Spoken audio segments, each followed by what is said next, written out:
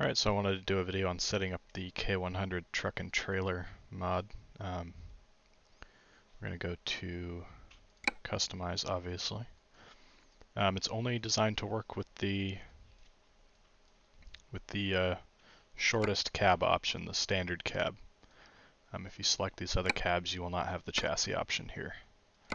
So select the shortest cab, which is how they would they would use they use the shortest cabs possible when they make these flatbed configurations in real life. So, um, so yeah, and then you go to chassis obviously and select flatbed. Um, it's pretty straightforward.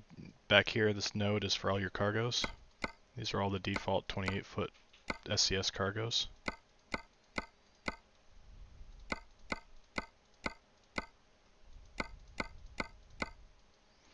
Um, so yeah, I only have it configured to use uh, single exhaust. Um, you can obviously select all your different pipes and stuff like that. Um, it's only set up to use these quarter fenders. Uh, you can swap the mud flaps and such back here. Um, I haven't bothered to go, to go and remove the taillights under there, the original taillights.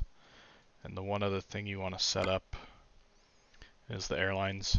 So you want to just select Pintle, and that'll put the your airline connections back here where they belong.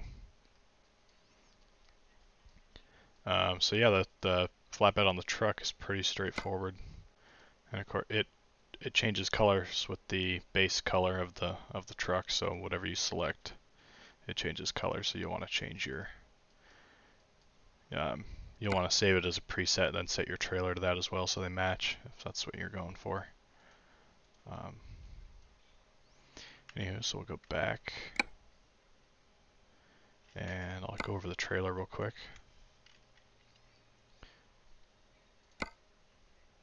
So you can ignore a lot of these other ones if you don't have my other mod, my 3XX truck and trailer mod installed. The only one you should see is 2-axle flatbed, and it's just the dolly here. You go to customize. And then you'll hit uh, you go to chain type and select pup.